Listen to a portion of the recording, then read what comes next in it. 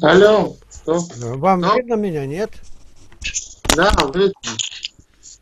Добрый вечер, приветствую. Да, добрый вечер. Ну, я очень хотел с вами вот так поговорить. Я приготовил 47 вопросов. У нас все записывается, выставляется в интернет. Вы не против? Не, зачем, наоборот. Я слушаю, пожалуйста, говорите. Ну, сперва, как вы поживаете? Отец мне много о вас говорил, хорошее. Ну, я начну вопросы, чтобы время не терять. Давайте, я жду. Давай. Зачем ангел предупредил, когда до Рождества Христа предупредил Иосифа, не, по- после Рождества, что будет гонение, и пошел в Египет. Да, а эти детей, что убили до двух лет, зачем их не предупредил Бог? А вы кому вопрос задаете? Вам. Нет, это вопрос Богу и ангелу. Если бы это я сделал, мне бы сказали, а это ангелу, а ангел вопросы не терпит. Поэтому выбросьте его, вопрос. Праздный. На спасение это не влияет. Бог сказал, а я отвечать за Бога не могу. Что Бог имел в виду? Мы до... Писание, Библия молчит. А потому написано, что Царство Небесное будьте как дети, потому сказано. Вот Бог сказал, мы должны согласиться. Нам это знать не надо. Бог скрыл. Все, вопрос снятый. Хорошо. Следующий вопрос. Как э, вести себя, как учить людей, например, когда я вижу, что больше слава идут нам, святых, они больше поклоняются святым, чем Богу. Как проповедовать тогда людям, как Иван Креститель Ну, в надо- этом случае? Надо людям рассказывать, как проповедовать. Если послал Господь апостолов до конца вселенной, идите по всему миру и проповедуйте Евангелие всякой твари. Вот эта тварь вокруг нас, и мы должны проповедовать сектантам, еретикам, язычникам, коммунистам, фашистам, всем. Не, когда Да, что он воскрес, радость воскресения. А примут или не примут, от нас не зависит. Есть благодать призывающая, это мы ее зовем. Благодать обращающая, что они обратятся. И благодать благословляющая, освящающая от священника. Да, хорошо. Это Например- Феофан Затворник это рассматривает так. Например, вот сейчас святые, например, на святых, новые святые, или иконы, там, мощи, там больше э, уважения идет, чем Богу. Вот это проблему я говорю. Еще проблема это. Ты этого не делай, а другим скажи, и все решилось. Это священники людей не учат. Они, Господь сказал, оставьте мертвецам хоронить мертвецов. Они раскапывают. Вот и, да. Следующий вопрос. Зачем Бог оставляет человека? Есть периоды, когда Бог, Бога чувствует человек, а потом он не чувствует. Как будто уходит Бог. Опять же, вопрос-то к Богу. Почему Бог? Откуда мы знаем? Бог знает жизнь каждого человека, каждой мошки, каждой молекулы. Это Бог распоряжается. И мы вопросы ставить к Богу не можем. А почему Земля круглая? А почему, Господи, не 100 тысяч лет, а даже семь с половиной только прошло? Почему лет человеческой жизни 70 лет, а было 950? Мы не можем Да. задавать. Бог это делает. Господи, зачем потоп? Там же дети погибли. А Содом Гамора люди молодые сгорели. Там все сгорели. Бог делает. Да умолкнет всякая тварь.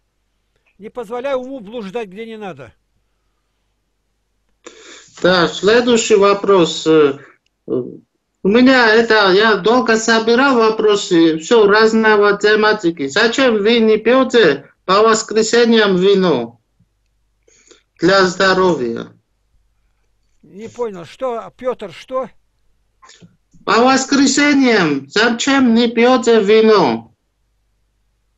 По воскресеньям не пьете вино? Кто не пьет? Вы почему по воскресеньям не пьете вино? Ну, я обхожусь без него, но это не грех. Если я бы говорил, что нельзя, это грех, тогда я был бы виновен, а я воздерживаюсь, и все. Если человек говорит, если священник женился, то он недействительный.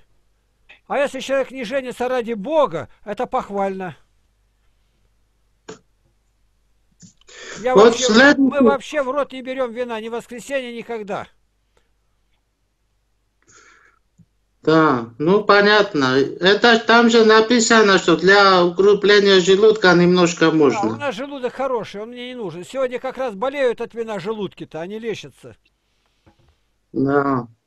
Вот э, следующий вопрос. Когда во время аборта умирают дети, ку- куда они попадают, их души? Когда, если я не хочу, чтобы они попадали в ад, то Бог в сравнении со мной, Он сто раз добрее меня. Куда они будут попадаться? Еще раз говорю, о младенцах, которые не согрешили, в аду они никогда не будут. А где они будут, этого мы не знаем. Может, будут научены. Библия умолчала. Иоанн Златоуст говорит, чего в Библии нет, о том не рассуждаем. Мы знаем, говорит, Илья взят на небо. А чем он там занимается? Не знаем. Понятно. Следующий вопрос. Православный священник должен обращаться одинаково и с э, богатым, и с нищим. Это так должно быть или нет? В каком плане одинаково? Ну, как человека. Ну, конечно, Блин. конечно. Об этом апостол Иаков говорит. Говорит, если войдет к вам бедный, ты его к порогу сажаешь где-то, а зайдет богатый, ты перед ним расстилаешься. Не будьте лицеприятными. Мы должны быть одинаковы ко всем. Не смотреть, что это президент, значит, тогда ему можно все. Вот у нас бы президент сейчас приехал, мы бы его соглашенными вывели. У нас очень строго в общине. Все по форме одеты. Да, правильно. Следующий вопрос. Что, какой страх? Ветхозаветный Божий страх. а, Говорится о Божьем страхе. И какой должен быть новозаветный Божий страх? Мы должны Бога бояться. Да, Или без Него? Я понял вопрос. В Ветхом Хорошо. Завете речь шла конкретно о том, что если он нарушил что-то, побейте его камнями. У тебя был бык, бык, и он будущий был, и ты знал, говорит, и он забодает кого-то, хозяина убейте, потому что ты знал. А в Новом Завете говорится о вечном, об аде. А там не говорилось о жизни, которая на этой земле, что тебя убили, а где ты будешь, может, и покаяние Бог даст. В Новом Завете больше, как бы не огорчить любящего Бога. Мы его называем отцом, мы его дети. Как я могу... Не, жена да боится мужа. Это не то, что он пьяный придет с работы, лупить ее будет. А то, что он выше ее, руководитель, она должна бояться испортить ему настроение. Должна бояться, как бы он не был ей недоволен. Вот как. Так и здесь. Мы боимся того, чтобы не огорчить Господа Бога чтобы он не отвратил лицо свое от нас, чтобы нам не погибнуть. Да, понятно. Вот следующий вопрос. Это касается э, и про евреев. Э, Настоящий еврей считается человек, который верен Богу. Это правильный мысль? Правильно, это Иоанн Златоуст говорит об этом. Израиль переводятся они зрящий Бога. Мы являемся новым Израилем, избранность, избранники Божии. Бог говорит, много званых, мало избранных. Так Израиль, как народ избранный, от него мы получили Христа и Библию. А мы, которые уверовали, мы идем в небесный Иерусалим. Апостол Павел, посланник к евреям, об этом и говорит. Значит, еврей по крови это нич- ничто не значит, а значит еврей по вере. Ис- Израиль как был, так и остается Израилем. Израиль остается. Так да? какой был. Все обетования, данные Израилю, Бог выполняет. И там будет мировая битва Армагеддон. И там будет антихрист от Израиля из колена Левиина. Три с половиной года царствует над всем миром. И там закончится мировая история. Участь Израиля уже известна заранее. Да, я понял. Следующий вопрос. Зачем исчезает стимул христианства? Вот я вижу, реально там начали ходить, и все, там исчезло. Они начали все, материальную жизнь. И это очень трудно на это смотреть. Вот зачем исчезает? Вот современная эта технология заходит, это все хорошо, тоже можно хорошее взять, но очень сейчас что с католиками случилось, там они все там в церкви не ходят. Сейчас понемножку у нас тоже так начинается. Уже теряют веру. Ну да. Два процента только из тех, кто называется православными, два процента только приходят. Да. Следующий вопрос. Как, какой будет ад? Там будет огонь или что там будет реально? Реально определенно говорится, идите в огонь вечный, уготованный дьяволу и ангелам его. Прямо говорится об огне. А какой он будет? Нравственно будет гореть душа, сожалевая о том, что не покорилась Богу. И будет гореть там, соединенная с телом. Сейчас горит одна душа, а потом душа войдет в тело мертвое, когда воскреснут. И она вместе будет брошена в ад. Вот это написано. Гореть будет и душа, и тело. Значит, речь идет об огне. А какой огонь, как, это никто не знает. Мы говорим, не представляя, что такое вечность. И будет ли она так, как мы понимаем.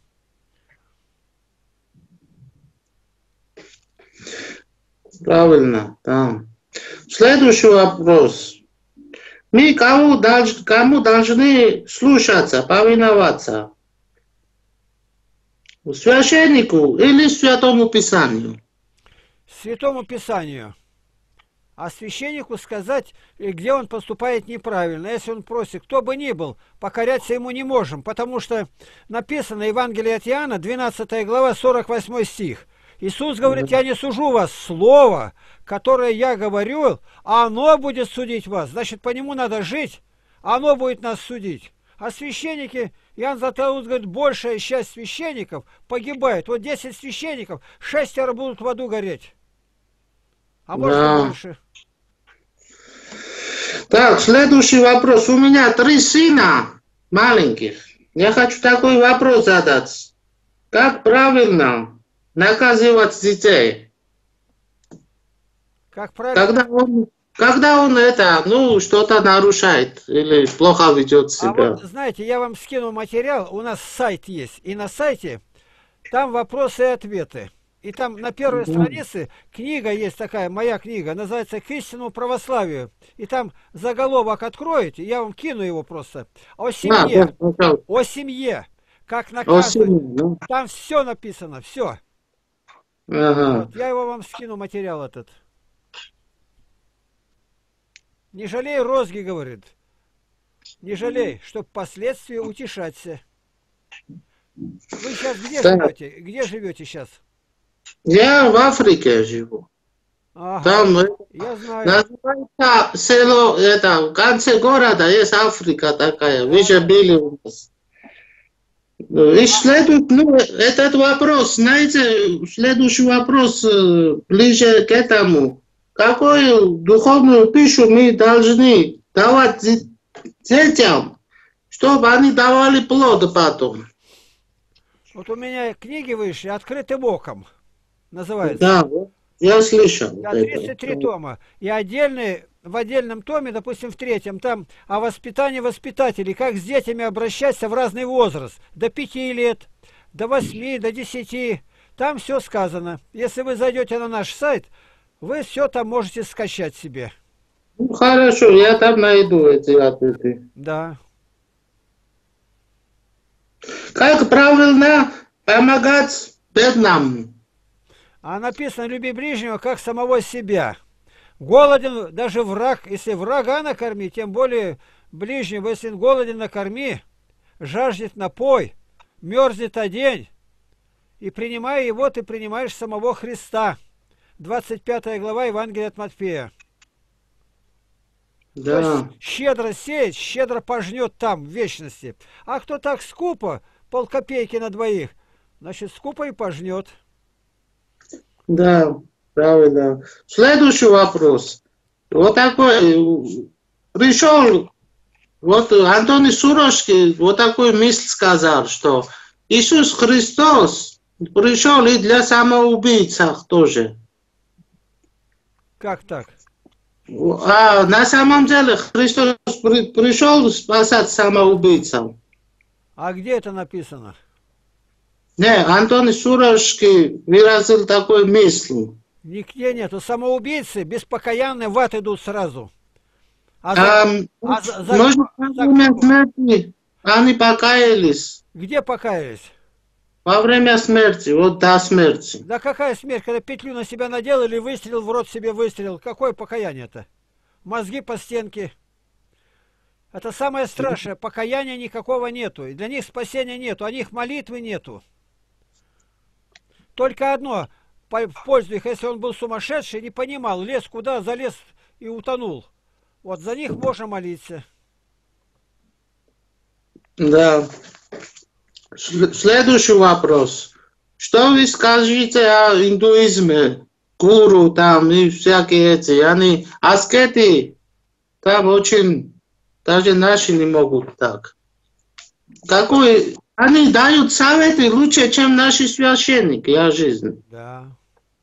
А зачем так? Наши священники же тоже могут нормальные советы давать. Конечно. Они когда людей закрывают комнату и связывают. А вот эти гуру такие советы дают, чтобы балансировать все там, на нейтрализацию сделать. И лучше советы дают, чем священники. Зачем? Их слушать грех или нет? Е- нужно одно сравнить. Вы любой вопрос, когда задаете, этот вопрос решайте. Четыре вопроса к нему ставьте. Первый. Что я в этом ответе ищу? Земного или небесного? Временного или вечного? Второй вопрос. Ставьте к этой теме. Что об этом говорит Святая Библия? Третье. Что об этом говорит моя совесть? И четвертое. Не будет ли это соблазном для окружающих? И когда это решится все, тогда ты смотри, как поступать. У тебя уже будет понятно, чего ты ищешь. Ну да, правильный ответ. Ну как, следующий вопрос. Как найти, э, собственно, в сердце Царство Небесное? Видите, это трудный вопрос. Это должен каждый решать. Христос сказал, Царство Небесное не придет приметным образом. Оно внутри вас. Царство Небесное не пища и питье, но праведность, мир, радость во Святом Духе. Праведность оправдания кровью Христа. Мир с Богом, с ближними, с самим собою. Мы жертвой Христа примирились. За наши грехи умер Спаситель мира Христос на Голгофе. И когда мы это знаем, примирились, написано, кто ходит во свете, как Он во свете, Иисус. Мы имеем общение друг с другом, и кровь Иисуса Христа очищает нас от всякого греха. Первое послание Иоанна, 1 глава, 7 стих. Да. Да, следующий вопрос. Зачем ож- ожесточил сердце фараона Господь и гонял евреев? Бог же знал, а смысл какой, что Он, всё- что значит ожесточил? Тут надо понять это слово. Это означает долго терпел. Вот отец, когда терпит, что сын там у него бродяжничает, наркотики принимает, и отец все прощал. И у него сердце закреп, закрепло, как камень. Потому что влага любви Божией человеком удалялась. Вот это означает, вначале фараон ожесточал сердце первый, второй раз, там третий, а потом уже только написано, и тогда Бог ожесточил его. Ожесточил, то есть доводы у него в голове появились, а что я отпускаю, рабы работали, кирпичи делали, а что я делаю-то? Кто будет работать-то? Мы же отвыкли, мы все за компьютерами сидим. Ну и Да. вот Это значит, что испарилась любовь. Высох камень, грязь, и превратилась в камень. Да. Следующий вопрос. Где пророк Илья? В параллельном мире? Или где? Параллельного мира никакого нету параллельного мира. Вот Иоанн Златоуст и говорит, что пророк Илья взят, взят. Павел говорит, я был до третьего неба, у мусульман семь небес, но это у нас нету. У нас есть три, три, три и небо небес. А где, говорит, Илья находится, мы не знаем. Чем занимается, не знаем. Библия молчит, и нам стоит рот закрыть, чтобы ни одного слова не говорили. Потому Хорошо. что если что-то говорить и говорить так написано, кто добавит, то на, на того Бог язвы наложит. А что кто отнимет, отнимет участие в книге жизни. Притча Соломона, 30 глава, 5-6 стих говорит, «Всякое слово Бога чисто, не прибавляй к словам Его, чтобы Он не обличил тебя, и ты не оказался лжецом». А в Откровении написано, «Учишься лжецов в озере Огненном». Это очень опасно добавлять что-то. Священники гонят, прополую отвечают. Бабка видела, Матрона во сне видела там. Это бабьи басни. Да, понятно. Ян Златоуст говорит, бредни пьяных старух. Да. Правильно. Следующий вопрос. Как мы должны правильно принимать чудо? Например, на иконах или исцеление там. Вы видите как? Вы вопросы задаете, у меня уже это известно. Вот когда иконы миротащили, была составлена комиссия в патриархии.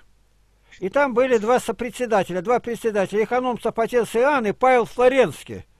Не тот, а новый Павел, заведующий там биологического какого-то университета. Там были священники, химии, ботаники, все разбирали. И они вывод сделали так. Не нечистая ли сила над нами смеется, а мы голову ломаем.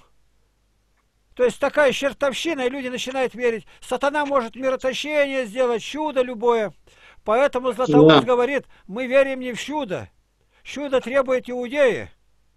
А Елена мудрости. Да. А мы проповедуем Христа распятого. Первое послание Коринфянам, первая глава. Да. Я вот за всю жизнь, 57 лет верующий, у меня не было, чтобы я голос слышал или видел. Самое большое чудо, что меня Бог призвал, открылся, дал веру. Вот самое большое чудо. Да, я согласен. Следующий вопрос. Что значит святой объяснить? И как, правильное понятие о святом человеке. Православного святого А, человека. а мы-то написано, будьте святы, как я свят. Это означает довериться Богу. Кровь Христа очищает от всякого греха. Мы рождаемся заново, надо народиться свыше. Признать себя грешником, принять Христову заместительную жертву, что Он за нас умер. И Он делает человека святым и непорочным. А по делам-то мы грешим, бывает где-то, и, и просим милости Его, Господи, прости нас. По делам мы не все святые. И, и прям этот сказать, Серафим Саровский говорит, когда Дух Святой от меня отступал, я ошибался. А Яков говорит так, Яков, все мы много согрешаем. А кто обуздывает язык, тот может управлять всем телом. А язык укротить никто не может. Он исполнен смертоносного яда. Им Бога благословляем и проклинаем человека, сотворенного по образу Божию. Не может из одного источника течь сладкая горькая вода. У нас-то так. Вот это грех. Да. Надо больше молчать. Говорить слова Божии, огненные, как Иеремия, в костях, как огонь разлитый. Я усилился молчать, но Господь разрывал это все и говорил, иди и говори, будут слушать или не будут. Они жестоковыйные. Надо идти на проповедь. Вот мы через Грузию-то сколько раз проезжали были у вас? Мы Да. ехали до, до Владивостока, потом до Лиссабона. Скандинавию, Прибалтику и Север захватили. 650 городов и сел. И подарили, у меня книги в каждую библиотеку дарили на 35 миллионов. Ого. Молодцы. Это, Ну, это следует- Бог делает, Бог делает. Человеку Да, это я невозможно. ваши ролики слушал, мне очень нравится ваша жизнь. И миссионерством. Я вам скину материал, наши все ресурсы. Хорошо, я буду благодарен. Следующий вопрос. Зачем потеряли так быстро веру евреи, когда Моисей был на горе Синай? А вот Они, да, когда в Египте я жили, они же молились Богу, там, это, все верили, столько лет там, а так быстро потеряли веру.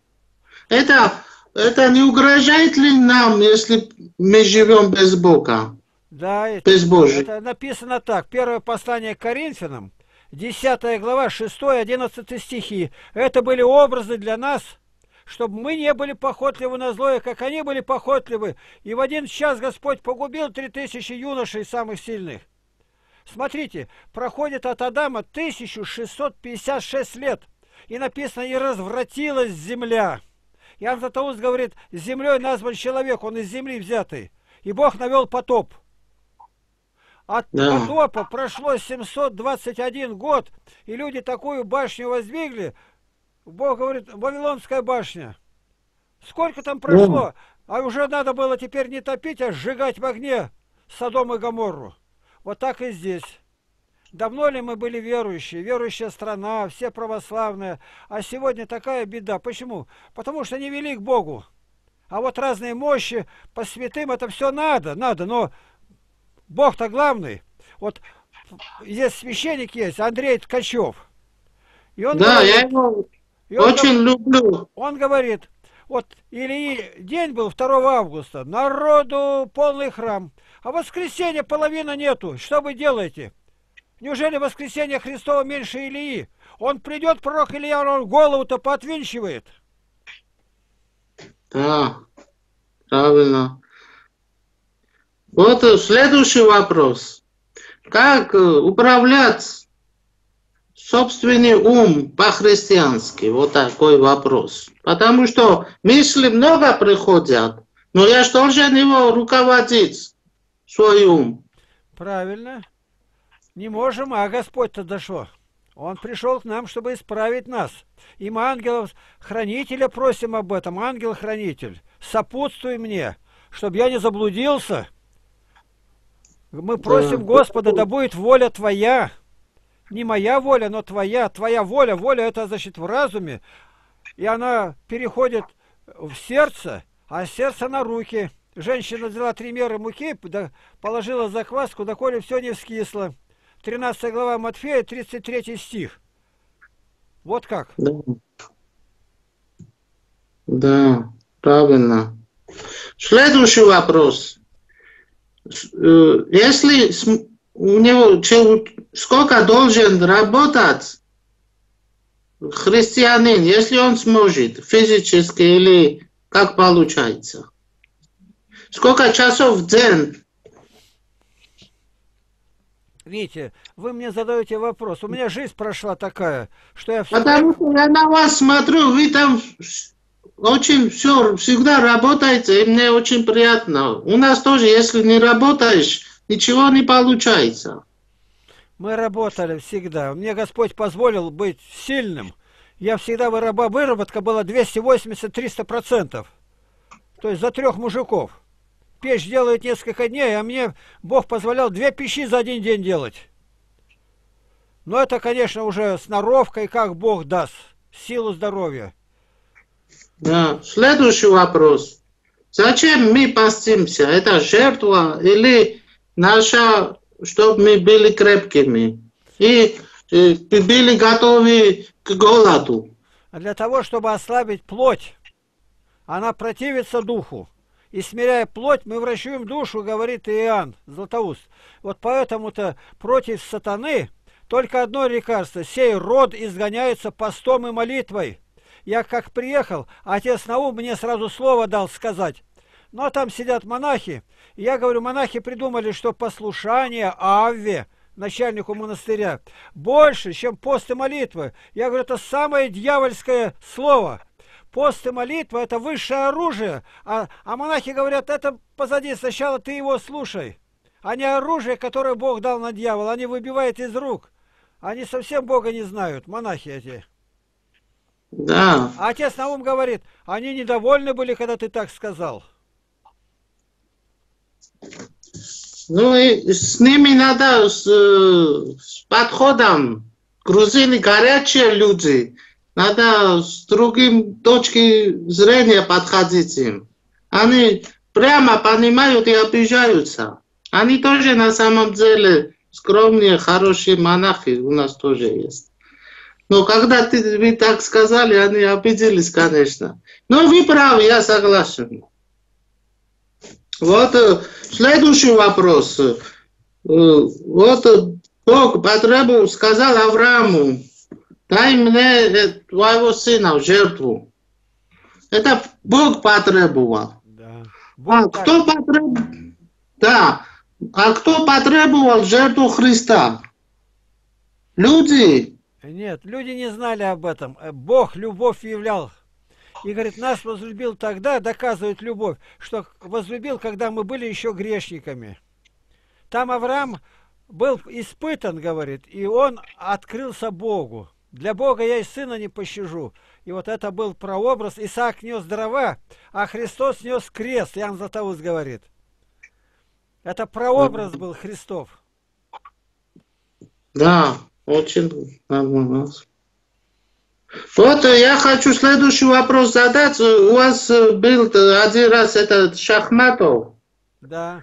Ва- Ваш э, брат, вот только что он был, и он ему сказал, что потому не понимаешь, что ты не призван. А зачем так он сказал? Потому что там разбойник тоже не был призван, но в конце он стал призванным. Нет, он еще не знает. Он проработал всю жизнь в секс-индустрии в Бамонде. Работал для блудных дел, а теперь пришел, а священники пашут на нем. Он еще не знает, молитвы разводит, да в Иерусалим поехал. Он тут натолкнулся, когда на нас и на меня говорит, вот эта бомба такая заложена.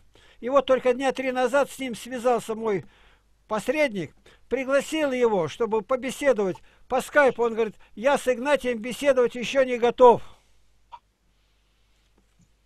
Отказался. Ну нет, вопрос такой, что избранный рождается или избранным человеком, человек может стать избранным. А, вот эти, сам человек в избрании, как говорится, а я хочу быть избранным. Да, это предсказано. Вот когда были в утробе матери Иаков и Исав, Господь говорит, Исава я возненавидел, а Иакова возлюбил. А они еще не сделали ни хорошего, ни плохого, еще в утробе матери были. Но это Бог. Он, он знает, как человеческий путь пойдет. А он Да. мог, мог изменить? Да, мог. А иначе бы не было сказано 11.28 Матфея, «Придите ко мне все труждающиеся обремененные, я успокою вас». А не так, что это было занаряжено, и я хотел бы, да меня Бог не пускает. Это не так.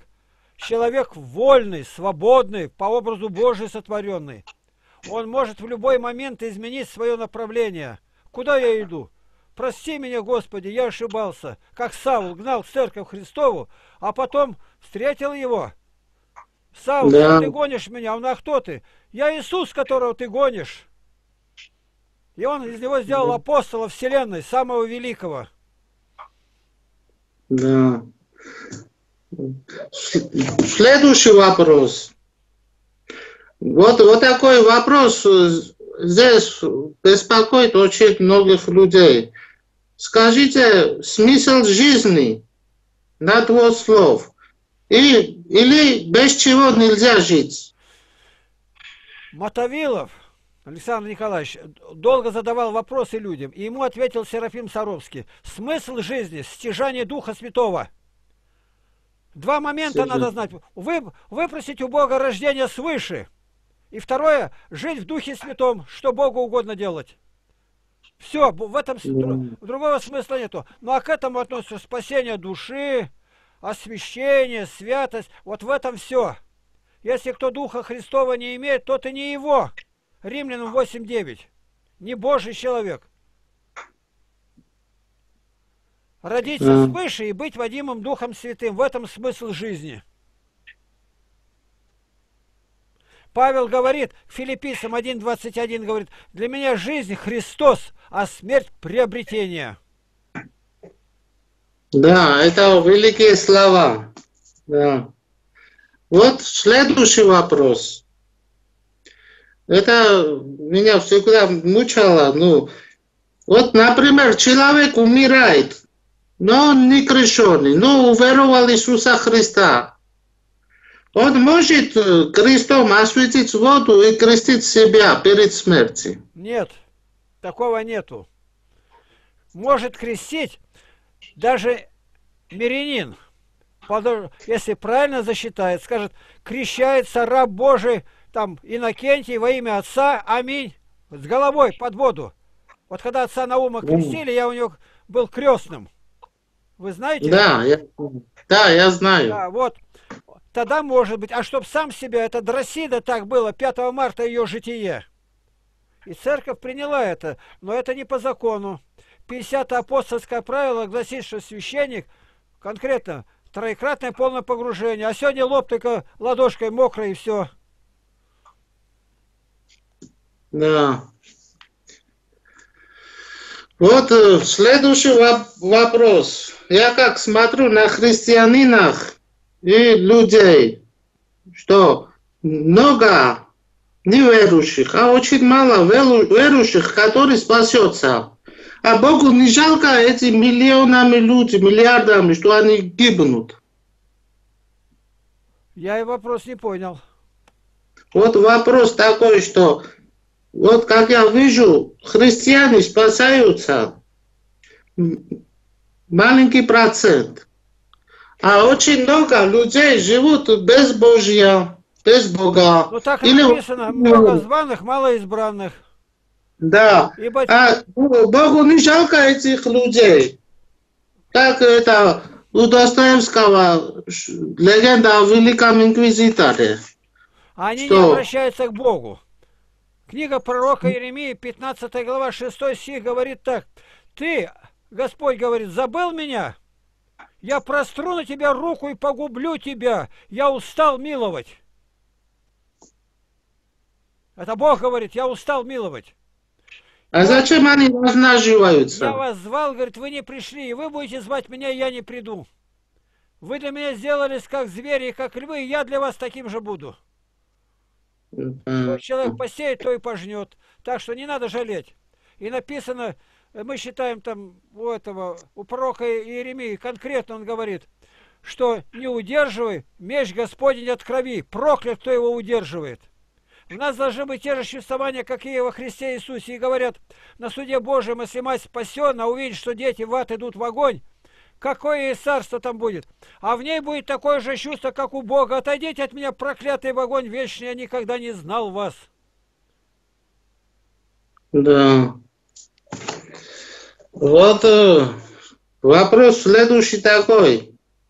Вот я художник, например, я творческий человек. Какой должен быть художник или творческий человек, христиан, ну, какой, по-христиански, какой должен быть. Потому что творческий человек, э, там разные вещи, там и на камне можно и там рисовать. И какой должен быть христианский творческий человек. А вот смотрите, есть такая певица, поет, православная она называется, Светлана Копылова. Запишите. Да. Сейчас я ручку возьму. Давай.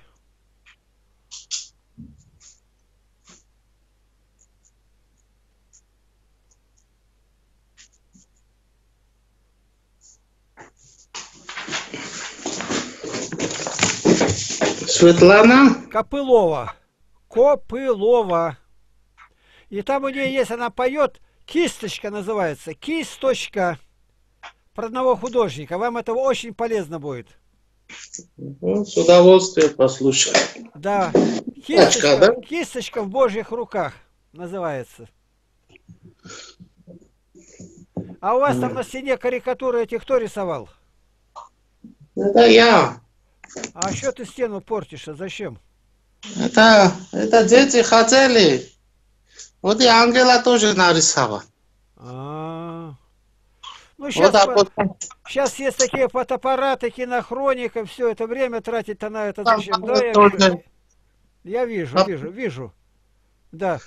Сегодня-то, вот, допустим, раньше было, чтобы нарисовать Льва Толстого, он позировал там целую неделю. А сейчас в течение одной секунды он уже будет на более похожий.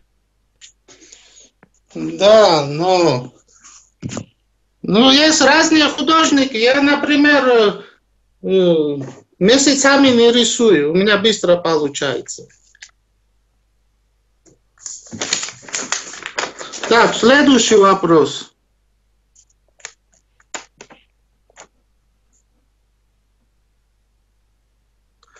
Если там во время рода умрет мама,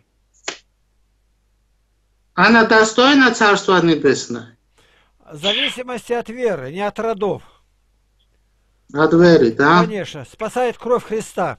Написано так, Евангелие от Иоанна, 3 глава, 36 стих. «Верующий в Сына Божия имеет жизнь вечную, а неверующий не увидит жизни, в родах умирает или как, но гнев Божий пребывает на нем». У иных, Да, я имею в виду, что верующий. ну, верующий это другой разговор. Конечно, страдания ее, она аборта не сделала. Господь все учитывает. Так, следующий вопрос. Я, для меня крест это святое. А должны, зачем освещают крест, мне непонятно. Ну так принято. Потому что священник проверяет правильно, неправильный крест. Сегодня креста-то правильного не найдешь. Там крест такие э, набалдажники, вот так вот склонный, масонский крест. Ну, ничего не понимают-то. Крест какой должен быть, если так говорить? Шестиконечный, вот он. Перекладина и вверху надпись, все. У нас Да. еще одна внизу для ног. Ну, была она или не была, мы не знаем. Ну, так принято у православных.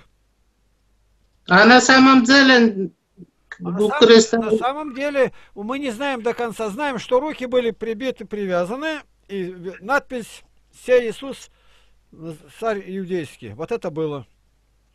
Вот э, я слышал от одной женщины, что его сына маленького душила черная рука. И она просто вот так руками крест сделала.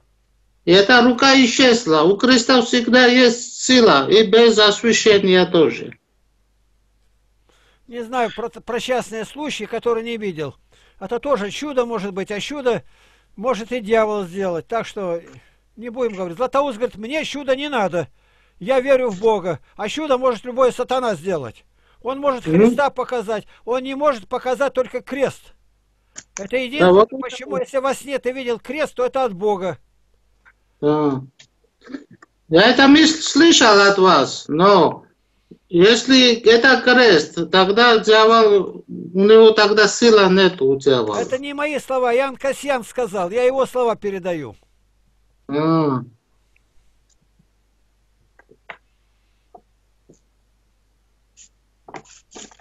Вот как следующий вопрос. Вот э, я молодой человек, я прочитал там Библию, Новый Завет. Как мне понять, что моя жизненная миссия, что я должен делать?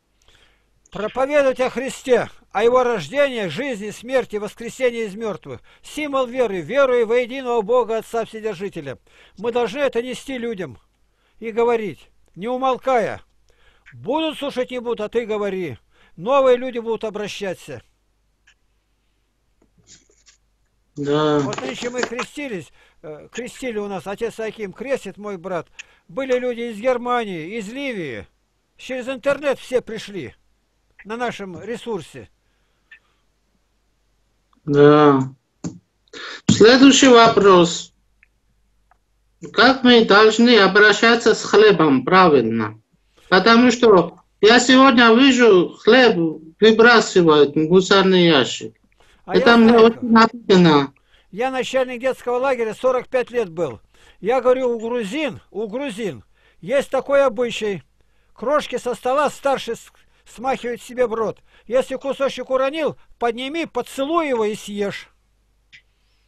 Да, это есть такая Ну, традиция. я знаю это дело. Благоговейное отношение у этой нации. И мы должны людям сказать об этом. Да, хорошо. Какой должен быть настоящий стихарщик? Они вот такие красивые глаза, там бегают туда-сюда. Настоящий кто? Ну, Что значит вообще стихарщик? Что, какой роль у него? Приказчик.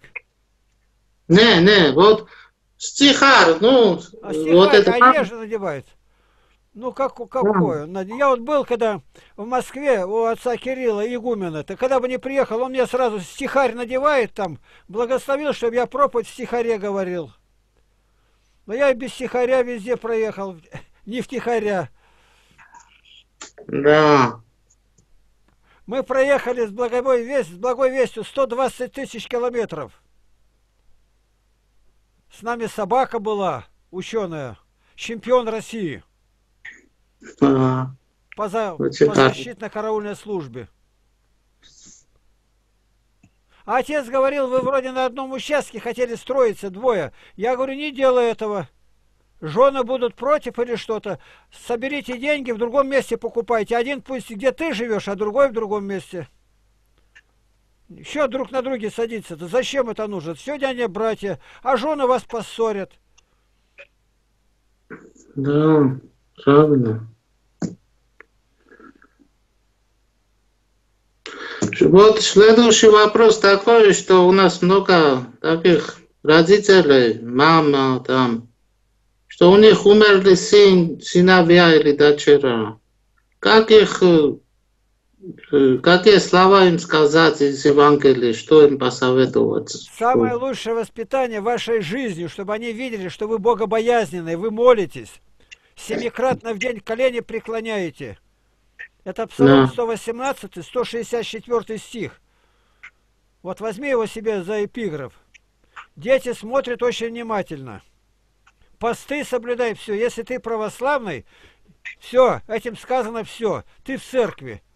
Поэтому сохрани этот лик, а не так, что православный, а мне можно пить и курить и материться. Ты должен быть свят. Господь говорит, будьте святы, как я свят.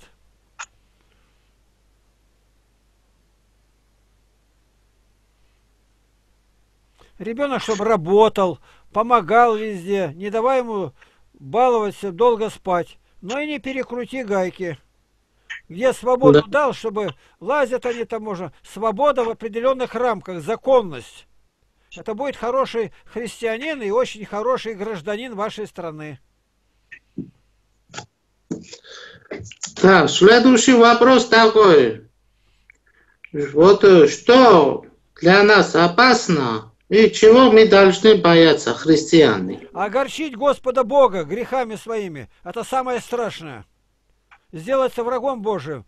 Многие, говорит, сделались враги креста Христова апостол Павел. И что?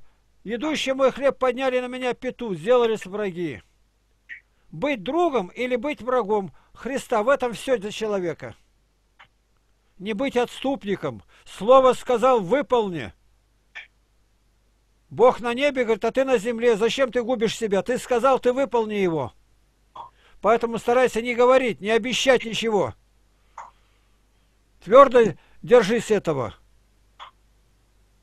Слово ваше да будет да-да, нет-нет, а что сверх того, то от лукавого.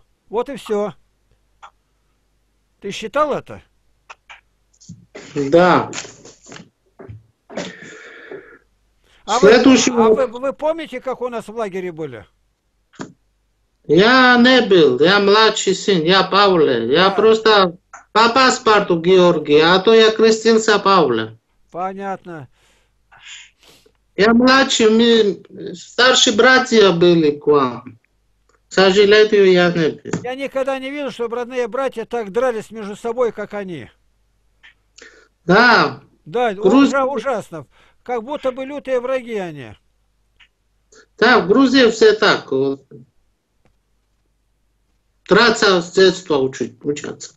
Но я им не позволял это, я их наказывал, драл их. Да. Ну, они очень крепкие выросли, они самостоятельные, там, и рабочие, хорошие люди выросли. Вот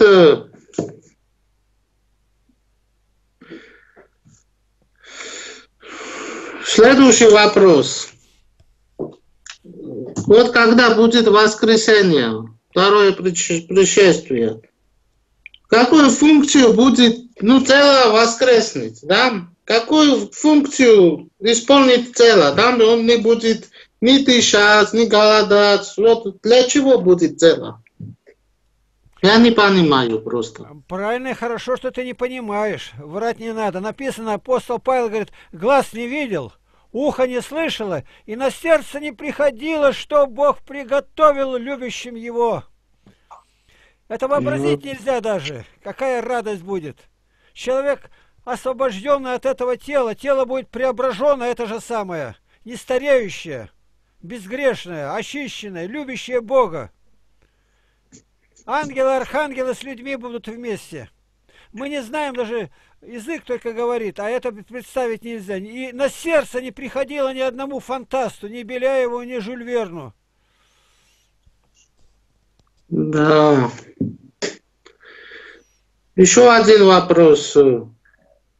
Вот такой вопрос жизненный. Ну, если меня ударили в лицо, и если я отвечу, чтобы защитить себя, это грех или нет? Вот так монахи подошли и спрашивают, а он им отвечает, ну вот тебе кто-то подошел и ударил, вы можете не злиться. Они подошли, посоветовались и говорят, нет, Ава, мы не сможем. Ну а можете так, чтобы хотя бы не, не ругать его? Нет. Ну он говорит, ну хотя бы в ответ-то не ударить. Ну, можете это претерпеть? Они пошли, порассуждали, ты что, а еще буду терпеть, то я ему за лимонию как зубы выбью за это. Подошли говорят, нет, очень, не можем. Он говорит, идите отсюда, свиньи. Что вы искушаете меня? Я в Америке был, и там один в лагерь приехали, а мне дорогой рассказали. Там про подьякон здоровый, говорит, крепкий-то. Ну и ночью грабители-то на него негры напали. А он вот так вот взял за шиворот, как в сторону, а потом ударил друг об друга-то. И лоб лопнул, один умер, а другой калека. С него сан сняли. Ну, он пошел и заявил, на меня напали, а я что делать должен быть?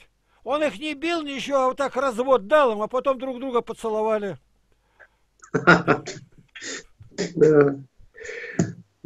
Вот э, следующий вопрос.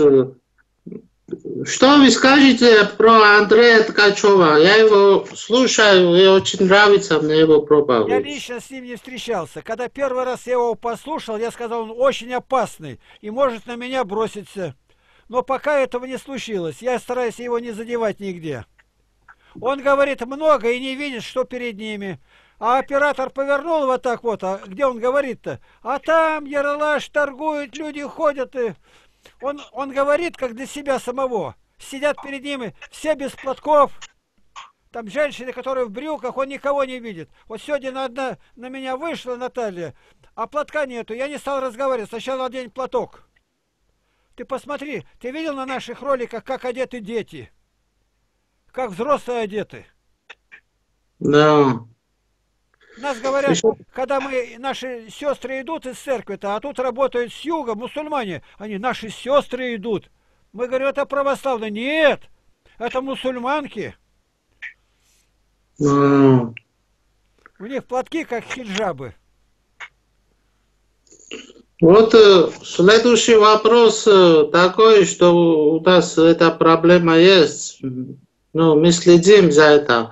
Что делать, когда в церкви во время службы люди шумят или разговаривают? У нас этого нет, у нас даже шепотом нельзя одного слова сказать. Ну это я очень рад, я знаю, что у вас нету, вы научите что-то нам Мы тоже. Мы учим людей. Один был здесь и говорит, я это, говорит, понимаю, можно учить, но как младенец на руках один раз пикнул и все, говорит, и не слыхать. Как они детей это приучили? У нас зря собаки даже не лают. По уставу не положено. Она должна обнаружить врага, залаять. И вот так. И здесь как, говорить абсолютно невозможно, нельзя. У нас устав висит. Даже шепотом нельзя ни одного слова сказать. И вот у нас даем знак, там, сигнал, все, зайдите в храм, все, за 7 минут до начала. Служба, допустим, с утра вот в 8 будет, за 7 минут должны зайти, встать, не шевелиться, углубиться в молитву, благодарить Бога за прошедшую неделю, за священника, даже не креститься. Потом открываются царские врата, начинается богослужение. И когда священник кадит, у нас за ним не, не крутится, как стояли, так и стоят. Он кадит иконы. Иконы, а не нас. Мы всему учим людей, люди знают это. Да. Сейчас еще следующий вопрос. Вы не принимаете как протест, это просто интерес. Зачем вы с женщинами грубо обращаетесь? А с чего ты решил, что грубо? Ну, я ваши ролики смотрел, мне не понравилось. Так, Грузия так не делают. Если ты не подкаблучник, Конечно. обращаться, вот Исидор Пилосиот говорит, чем суровее мужчина обращается с женщиной, тем она больше привязана к нему. Она знает, что это скала. Он прокормит, пропоит и никогда не бросит ее. Он за нее жизнь отдаст. Он хочет, чтобы она в раю была. А то начинает, девушка была ангел, а сейчас превратилась в ведьму. И будто бы ответ поступил. Господь говорит, я сотворил девушку, а женщинами вы сами их делаете. Да. Вот последнее, это не вопрос, а вот такая просьба, что Вот смотри, у нас... Павел, слушай, я вот сейчас вернулся домой, я во двор вышел, меня каждая сестра подходит, обнимает и целует. А кого целовать-то? Ой, приехал, приехал, приехал. Если я грубо обращаюсь, ни одна кошка не подойдет. А я иду, вокруг меня со всей улицы собаки, кошки. У меня две голубятни. У злого человека Да. голуби не водятся. Обнимают. Ой, одни мощи. Одни мощи. У нас Да. сестры любят все. У нас сестры очень хорошие. Приехали американцы тут и, ой, какие у вас сестры красивые. Я говорю, это платки красивые. Да. Вот у нас есть э, один человек, он с детства, ну, моего роста, 33 года ему. И он учится профучилище, он слепой с рождения. Э, Я хочу вас попросить, чтобы вы помолились. Может, он прозреет. Не надо. Мы не знаем, полезно или нет. Мы не прозрения должны просить, а воли Божией. И вот приехал в Почаев, у нас был Волчатников Иван Андреевич, слепой с детства. У него глазницы, а там ничего нету. И в это время к нему подошел один старец, говорит, Иосиф звать, и говорит, ты хочешь быть зря- зрящим? Я, говорит, так и опешил, это как же, у меня там ничего нету. Господь может сделать, но только веру потеряешь, уйдешь в мир. Он говорит, не надо, не надо, не надо. И он так умер Ну. слепой. Я вот парализованно лежал Сергей, который Козлов, иконописец. Он нырнул, ударился головой, 17 лет лежал. Бога нашел. Умница такой, вот умер недавно. Мы были очень близкие с ним. Лучший иконописец был. Все разбирался и в технике, и во всем. А вот э, за, я хочу спросить про уныние. Зачем так быстро заходит в человека уныние? Потому что Вот Бога не любит, огня нету. Просто уныние, апатия, разные слова. А чего ради уныния, когда мы с Богом? Когда Бог обещает победу. И какое-то уныние, я, эти, я помочь не могу, потому что я не знаю, что такое уныние. У меня стоит цель, и я к ней пробиваю тоннель. Оттуда пойдет вода на поля. Да. Вот это, а ты послание Ивана Богослова написано, что вы куплены большой ценою и не делайтесь рабами человека. Да. А если человек работает на человека, это значит, что он его раб. Нет, он не об этом говорит. В Ефесянам написано, что если ты раб, ты с- слушайся, как будто Христа слушайся. Вот эта мысль тоже есть там. Это есть. Здесь друг о другом говорит. Не делайте соратниками страстей, греховной Ага. жизни тех людей. Не порабощайтесь. Познакомился, там наркотики дали, и теперь он уже раб его. Теперь ему продает, он из дома все тащит. Да. Ну, все, у меня вопросов нету. Я могу, я хочу, вот у нас, ща- я сейчас рисую церковь там потихоньку, рисуем фрески. Вот на следующей неделе наш разговор будет уже в интернете, на нашем ютубе стоять. На Ну, это вот Я сам, я прекрасно. сам не закачиваю. Администрация работает. А я только замки снимаю. хорошо. На нашем, Очень- ро- ро- это, на нашем ютубе 16 тысяч 800 роликов. Да. Вот э, апостол Павел, он ослеп от света. Вот, люд, вот я иногда один период хотел, чтобы Бог со мной ну, общался. Но потом я понял, что Бог общается через Духа Святого. Не надо Бога там встречать, и Он не встретится так с тобой. Да? Это правильно? Правильно, ты доверяйся Богу. Да будет воля твоя, да будет воля твоя, не моя. Как тебе, Господи, угодно. Какой долиной поведешь меня, цветы будут или смерть? Да будет воля твоя. Что до меня? И святые говорили, просить испытания. Не выдержу. Без испытания спасения нет. Не знаю, чего просить. По силам, Господь, дай крест, чтобы я мог его донести безропотно. Да. Ну, все, у меня закончились вопросы. Я еще наберу, я вам позвоню. Так, я вам скину потом, когда во сколько можно. И, так, я... Да, Я напишу вам, если у вас есть Да, время. да, да, да. Ну, благодарю. Большое спасибо. Вот, главное, мы Благодарю. ездили в Грузию, и у нас деньги сохранились здесь, грузинские. Вот если бы ты был рядом, я бы тебе их отдал. О, Какие, посмотри. о, это 5 лар, это, это Они, два с а, половиной долларов. ну, мы-то там разменивали их. На Евро, де- доллары-то нам кое-что надо было покупать-то. Я бы их отдал вам сейчас даром. Ну как отдать-то?